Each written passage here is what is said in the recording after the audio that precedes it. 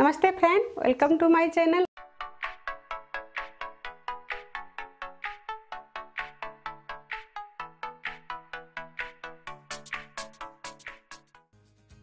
आज मैं आपके साथ मोमो चटनी की रेसिपी शेयर करने जा रही हूँ। वैसे तो चटनियाँ बहुत तरह के बनते हैं मोमो के लिए।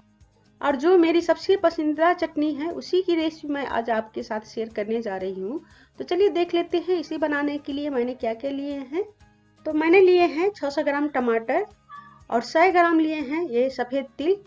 थोड़ा सा फ्रेश धनिया काट कर लिए हैं और 100 ग्राम मूंगफली भी लिए हैं, यानी पीनट और एक बड़े चम्मच मेथी दाना, नमक एक बड़े चम्मच या स्वाद अनुसार एक इंच अदरक का टुकड़ा और तीन चार हरी मिर्च इसमें यूज़ करेंगे।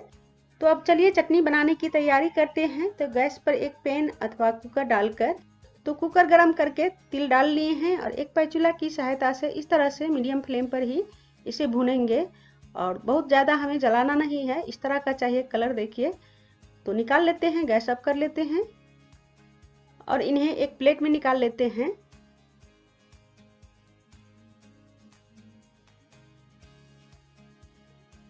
देखिए इस तरह का है। तिल भुनने के बाद थोड़ा फूल जाते हैं और थोड़ा कलर भी चेंज हो जाते हैं। अब अभी इन्हें साइड में रखते हैं और सेम कुकर में एक बड़े चम्मच तेल डालकर इसे गैस पर फिर से चढ़ा लिए हैं, गैस ऑन कर लिए हैं और इनमें मेथी दाना डाल लिए हैं। अब मेथी दाना को हम तब तक पकाएँगे जब तक एक डार्क ब्लैक कलर का ना हो जाए। उससे कम पकाएँगे तो चटनी कड़वी हो जाएगी।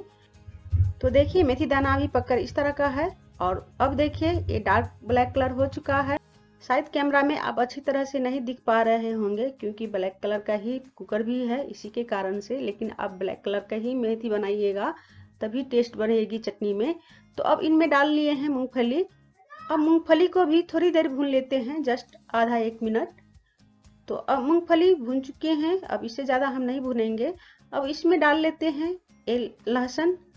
लहसुन ऑप्शनल है, इसीलिए मैंने पहले नहीं दिखाई थी, लेकिन डालिएगा तो और टेस्ट बढ़ेगी चटनी में। तो थोड़ी देर इन्हें भून लेते हैं। अब इसमें डाल लेते हैं अदरक।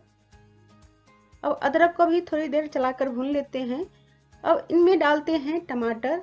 और टमाटर देखिए, मैंने फ्रोजन लिए थे। इसमें पानी में मैं डालकर इसे सॉफ्ट कर लिए हैं। यदि आप फ्रेश ले रहे हैं तो टमाटरों को चार टुकड़े में कट कर लीजिएगा तो जल्दी से गलेंगे।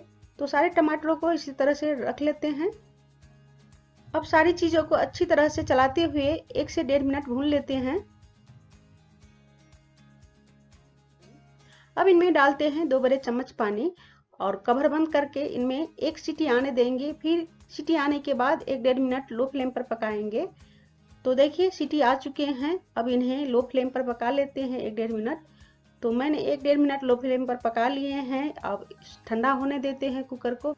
तो अब कुकर ठंडा हो चुके हैं। इसका ढक्कन खोल लेते हैं और सारे चीज़ों को अच्छी तरह से ठंडा होने देंगे। गरम गरम में नहीं पीसेंगे हम चटनी। नहीं तो मिक्सर का ढक्कन उछट सकते हैं। तो थोड़ी देर ठंडा कर लेते हैं इन्हें। तो अब ठंडा हो चुके हैं तो अब हम चटनी पीसना शुरू करते हैं। तो सबसे पहले हम ये तिल डालेंगे मिक्सी जार में और पहले इन्हें पीस लेंगे। तो अब तिल पीस चुके हैं, देखिए इस तरह का पीसे हैं। अब इनमें डालेंगे जो हम टमाटर वगैरह पकाए हैं, वो सारे डाल लेते हैं और ये मिर्ची भी डाल लेते हैं। और मिर्ची को आप लहसुन, अदरक पकाए हैं, उसी वक्त पका भी सकते हैं कुकर में डालकर।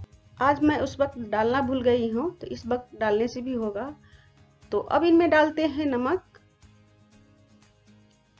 नमक आप अपने स्वाद अनुसार भी डाल सकते हैं। और ये हरा धनिया। अब मिक्सी का ढक्कन बंद करके हम चटनी को बारीक पीस लेंगे। तो चटनी का पेस्ट इस तरह का है अभी। इसमें हम पानी डालकर पीसेंगे तो इसमें ज़्यादा है चटनी अभी। तो एक बॉल में निकाल लेते हैं। तो अब मैं पीने का पानी डाल रही हूँ चटनी में और टोटल चटनी में मैं एक कप से थोड़ा सा कम पानी ले रही हूँ। तो आधा चटनी में अभी आधा पानी डाल लिए हैं और आधा में, यानी अभी बॉल में जो चटनी निकाल कर रखे हैं, उसमें डालकर पीस लूँगी। अब हम मिक्सर का कवर लगाकर चटनी को बहुत बारीक पीस लेंगे। तो चलिए मैं ढक्कन खोलकर फिर से एक बार चटनी को दिखाती हूँ। देखिए कितना गाढ़ी हो चुकी है चटनी। और जो बाकी का चटनी है, इसी में डालकर और पानी भी डालकर मैं चटनी को बहुत बारीक पीस लेती हूँ। तो लीजिए अब चटनी बनकर तैयार है। आप इसे गर्मा गर्म मोमोज के साथ सर्व कीजिए। बहुत ही टेस्टी लगती है और अपने मनपसंद डिश के साथ भी सर्व कर सकते हैं। ये चटनी को बहुत ही टेस्टी होती है ये चटनी।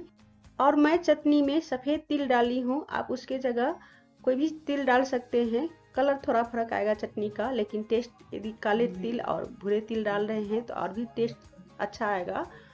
तो आप ये चटनी बनाइए और अपना अनुभव मेरे साथ शेयर कीजिएगा। रेसिपी अच्छी लगी तो वीडियो को लाइक शेयर करना मत भूलिएगा। और चैनल को अभी तक सब्सक्राइब नहीं किए हैं तो प्लीज़ सब्सक्राइब ज़रूर कीजिएगा और बेल आइकन को भी प्रेस कीजिएगा ताकि आपको मेरी डेली अपडेट मिलती रहे। तो फिर मिलेंगे एक नए वीडियो में, एक नए रेसिपी के साथ।